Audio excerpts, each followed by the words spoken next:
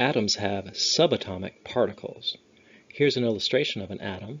We can see it has a center core that we call the nucleus.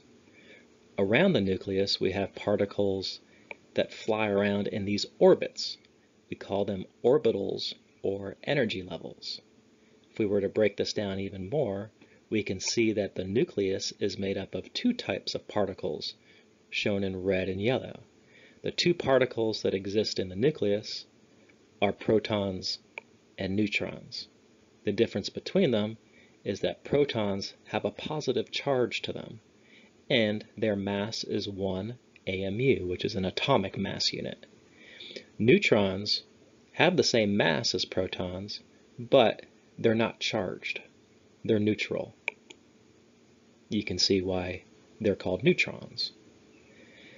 Flying around the nucleus so fast that it just looks like a cloud here, but we can see them better in this illustration, are electrons. Well, electrons don't really have a mass. This number is so small that we don't even have to worry about it.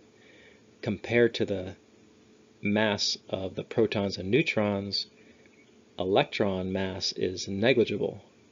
It's nearly weightless. Electrons do have a charge, and that is a negative charge. Atoms contain equal numbers of protons and electrons. So the protons in the nucleus equal the electrons in the energy levels or orbitals. So let's summarize what we went over on the previous slide. Which of the three subatomic particles exist in the nucleus? Well, protons, that's a check mark. Neutrons, yes. Electrons, no. What are the charges of the subatomic particles?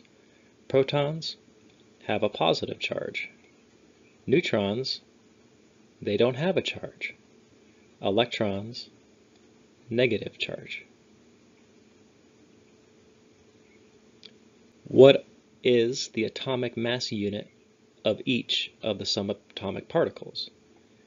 Think of it as mass or weight, although weight is not a proper way to look at it. Protons mass is 1.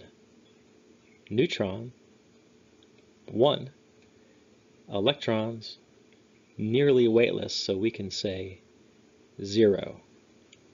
So remember this chart as we're working through other problems as we go through this, this chapter.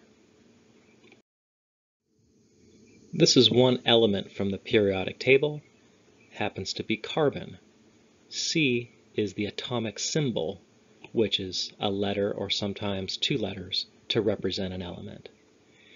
The number on top of this atomic symbol is the atomic number. And this is a really important number. Never forget that the atomic number is the number of protons. Protons are in the nucleus. They're positively charged. They have an atomic mass of 1.